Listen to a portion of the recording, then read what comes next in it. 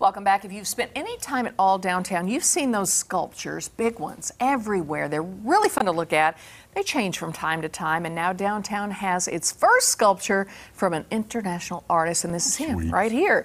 Say hello to Mike Salisbury. He's from Ontario, Canada. Avery Parrish is the executive director at Sculpture Walk Springfield.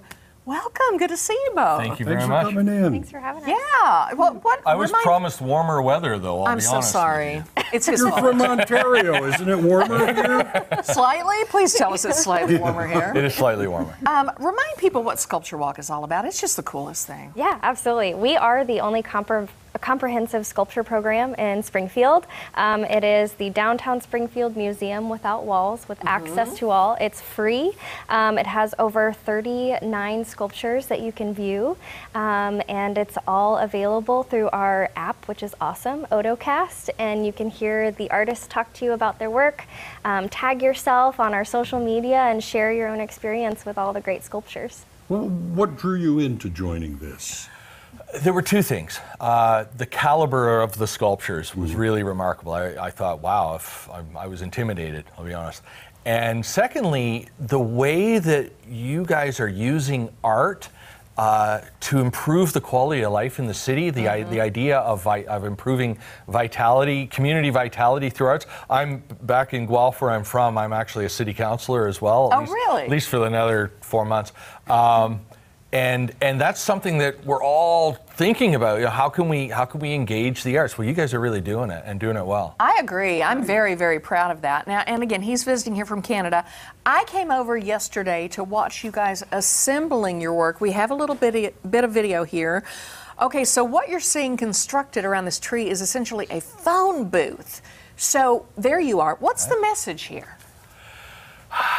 That's a good That's question. That is a good question. question. You know, I really hold back trying to tell people what I think it means because inevitably, when people see art, half of the meaning is what they've already brought to it. But what you've got, I mean, a phone booth is an iconic structure. Mm-hmm. It's something we're all familiar with. It's loaded with with cultural meaning. I mean, that's where Superman came from, right? Right. Exactly, sure. But I think a lot with this particular sculpture, the, you know, I think the question to ask is: Is that tree being protected, or is it being enslaved or encased in some way? And the answer to that is something that you're going to have to figure out when you go see it yourself. Oh, I, I think they're both ancient spirits, old souls. Yeah. The phone booth and the oh. tree and the. Yeah. Do you like the that. idea of you know sculpture where it's hands-on? It's something that you don't stand like this and I- look at it a distance. I do. I do. I do land art, public art, but I also do street art, and that is at times quite hands-on and doesn't sometimes doesn't last very long. So, uh, no, I think I call it anonymous collaboration when people contribute to a piece. Right. Uh, with their own uh, gestures, uh, in addition to. So. And this was later yesterday afternoon, and it's almost finished, you said, Almost right? finished. Almost. If it weren't for a bit of rain today, we would finish the work around the bottom. We're going to need to let things dry off a bit, and, but it should be done by the time the weekend, uh, the main festivities. So. Okay, we want to talk about the festivities. By the way, you can see that in Jubilee Park, which is sort of just east of Jefferson near the Discovery Center.